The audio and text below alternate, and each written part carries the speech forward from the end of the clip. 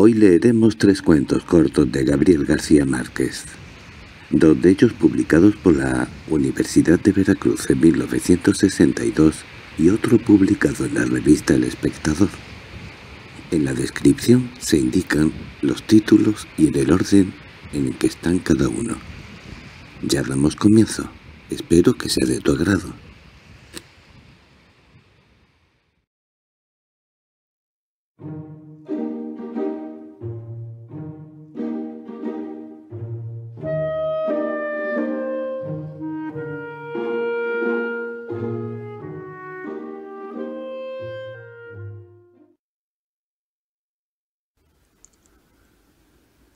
Ladrón de sábado Un cuento de Gabriel García Márquez Hugo Un ladrón que solo roba los fines de semana entra en una casa un sábado por la noche. Ana, la dueña, una treintañera guapa e insona empedernida, lo descubre infraganti. Amenazada con la pistola, la mujer le entrega todas las joyas y cosas de valor y le pide que no se acerque a Pauli, su niña de tres años. Sin embargo, la niña lo ve y él la conquista con algún truco de magia. Hugo piensa, ¿por qué irse tan pronto si se está tan bien aquí? Podría quedarse todo el fin de semana y gozar plenamente la situación, pues el marido lo sabe porque los ha espiado. No regresa de su viaje de negocios hasta el domingo en la noche. El ladrón no lo piensa mucho. Se pone los pantalones del señor de la casa y le pide a Ana que cocine para él. Que saque el vino de la cava y que ponga algo de música para cenar, porque sin música no se puede vivir. A Ana preocupada por Pauli. Mientras prepara la cena se le ocurre algo para sacar al tipo de su casa. Pero no puede hacer gran cosa porque Hugo cortó los cables del teléfono. La casa está muy alejada, es de noche, y nadie va a llegar. Ana decide poner una pastilla para dormir en la copa de Hugo. Durante la cena el ladrón, que entre semanas es velador de un banco, Descubre que Ana es la conductora de su programa favorito de radio, el programa de música popular que oye todas las noches sin falta.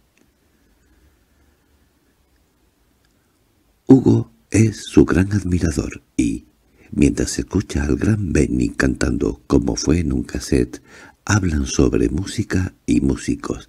Ana se arrepiente de dormirlo, pues Hugo se comporta tranquilamente y no tiene intenciones de lastimarla ni violentarla. Pero ya es tarde porque el somnífero ya está en la copa y el ladrón la bebe, toda muy contento. Sin embargo, ha habido una equivocación y quien ha tomado la copa con la pastilla es ella. Ana se queda dormida en un dos por tres. A la mañana siguiente Ana despierta completamente vestida y muy bien tapada con una cobija en su recámara. En el jardín, Hugo y Pauli juegan, ya han terminado de hacer el desayuno. Ana se sorprende de lo bien que se llevan. Además, le encanta cómo cocina ese ladrón que, a fin de cuentas, es bastante atractivo. Ana empieza a sentir una extraña felicidad. En esos momentos, una amiga pasa para invitarla a comer. Hugo se pone nervioso, pero Ana inventa que la niña está enferma y la despide de inmediato. Así, los tres se quedan juntitos en casa a disfrutar del domingo. Hugo repara las ventanas y el teléfono que descompuso la noche anterior mientras silba. Ana se entera de que él baila muy bien el danzón baile que a ella le encanta pero que nunca puede practicar con nadie. Él le pone que bailen una pieza y se acoplan de tal manera que bailan hasta ya entrada la tarde. Pauli los observa, aplaude y finalmente se queda dormida. Rendidos, terminan tirados en un sillón de la sala. Para entonces ya se les fue el santo al cielo, pues es hora de que el marido regrese.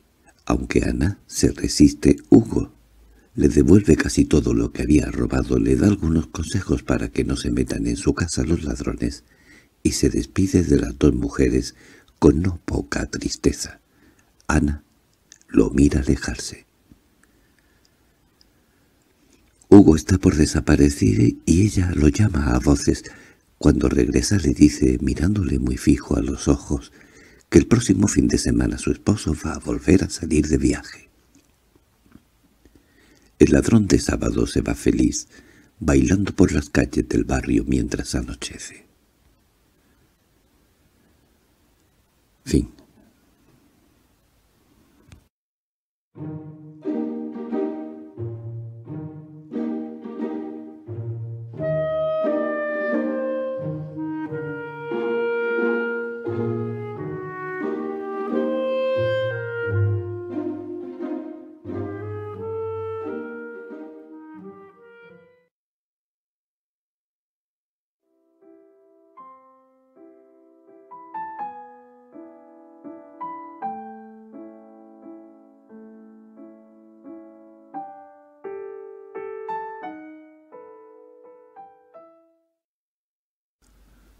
Algo muy grave va a suceder en este pueblo.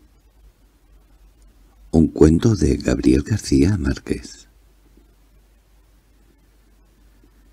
Imagínese usted un pueblo muy pequeño donde una señora vieja que tiene dos hijos, uno de 17 y una hija de 14, está sirviéndoles el desayuno y tiene una expresión de preocupación. Los hijos le preguntan qué le pasa y ella les responde no sé, pero he amanecido con el presentimiento de que algo muy grave va a sucederle a este pueblo. El hijo se va a jugar al billar y en el momento en que va a tirar una carambola sencillísima, el otro jugador le dice, «Te ha puesto un peso a que no la haces». Todos se ríen. Él se ríe. Tira la carambola y no la hace. Paga su peso y todos le preguntan qué pasó si era una carambola sencilla, y él contesta. Es cierto, pero me ha quedado la preocupación de una cosa que me dijo mi madre esta mañana sobre algo grave que va a suceder en este pueblo. Todos se ríen de él, y él, que se ha ganado su peso, regresa a su casa donde está con su mamá, o una nieta, o en fin, Cualquier pariente feliz con su peso dice y comenta. Le gané este peso a Damaso en la forma más sencilla porque es un tonto. ¿Y por qué es un tonto? Porque no pudo hacer una carambola sencillísima, estorbado con la idea de que su mamá amaneció y con la idea de que algo muy grave va a suceder en este pueblo. Y su madre le dice, no te burles de los presentimientos de los viejos, porque a veces salen. Una pariente oye esto y va a comprar carne. Ella dice al carnicero, «Deme un kilo de carne», y en el momento en que está cortando le dice, «Mejor córteme dos, porque andan diciendo que algo grave va a pasar, y lo mejor es estar preparado». El carnicero despacha su carne y cuando llega otra señora a comprarse un kilo de carne le dice, Mejor lleve dos porque aquí llega la gente diciendo que algo muy grave va a pasar y se están preparando y comprando cosas. Entonces la vieja responde, «Tengo varios hijos, mejor deme cuatro kilos». Se lleva los cuatro kilos y para no hacer largo el cuento diré que el carnicero en media hora agota la carne, mata otra vaca, se vende toda y se va esparciendo el rumor. Llega el momento en que todo el mundo en el pueblo está esperando que pase algo. Se paralizan las actividades y de pronto, a las dos de la tarde, alguien dice ¿Se han dado cuenta del calor que está haciendo? Pero si en este pueblo siempre ha hecho calor, tanto calor, que es pueblo donde los músicos tenían instrumentos remendados con brea y tocaban siempre a la sombra, porque si tocaban al sol se les caían a pedazos. Sin embargo, dice uno, a esta hora nunca ha hecho tanto calor. Pero a las dos de la tarde es cuando hace más calor, sí, pero no tanto calor como ahora. Al pueblo desierto, a la plaza desierta, Baja pronto un pajarito y se corre la voz. Hay un pajarito en la plaza, y viene todo el mundo espantado a ver el pajarito. Pero, señores, siempre ha habido pajaritos que bajan. Sí, pero nunca esta ahora. Llega un momento de tal tensión para los habitantes del pueblo que todos están desesperados por irse y no tienen el valor de hacerlo. Yo sí soy muy macho grita uno. «¡Yo me voy!». Agarra sus muebles, sus hijos, sus animales, los mete en una carreta y atraviesa la calle central donde todo el pueblo lo ve, hasta que todos dicen «Si éste se atreve, pues nosotros también nos vamos», y empiezan a desmantelar literalmente el pueblo. Se llevan las cosas, los animales, todo. Y uno de los últimos que abandona el pueblo dice que no venga la desgracia a caer sobre lo que queda de nuestra casa. Y entonces la insedia y otros incendian también sus casas, huyen en un tremendo y verdadero pánico, como en un éxodo de guerra, y en medio de ellos va la señora que tuvo el presagio, que le dice a su hijo que está a su lado. «¿Viste, mi hijo, que algo muy grave va a suceder en este pueblo?»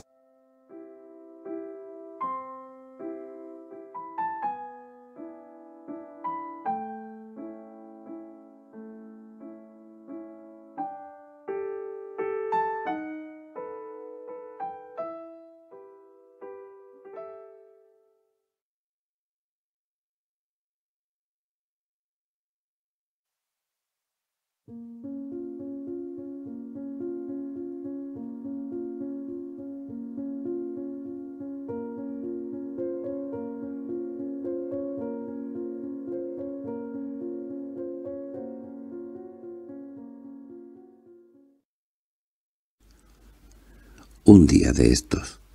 Un cuento de Gabriel García Márquez.